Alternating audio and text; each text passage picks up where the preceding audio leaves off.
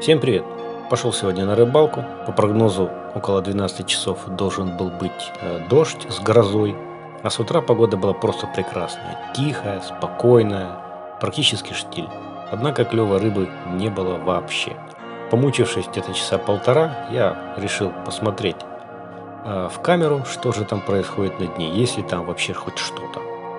Опустив камеру в точку ловли, я обнаружил вот такой вот базар – большое количество мелкой и средней плотвы, которая, судя по всему, выела всю прикормку и просто тусовалась на этом месте в надежде на добавку. Однако клевать она не желала.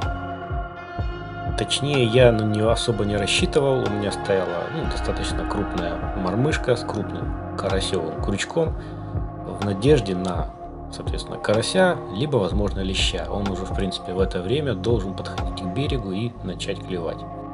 Но леща и карася в точке ловли не было, и я решил пройтись немножко по берегу.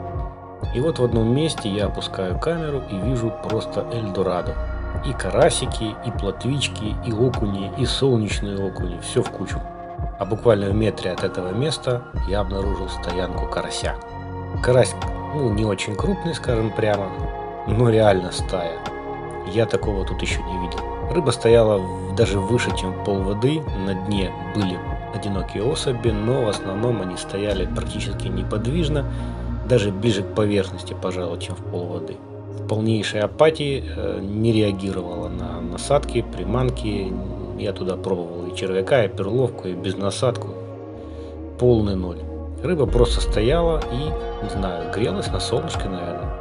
Я так подозреваю, что она ощущала приближающееся ненастье.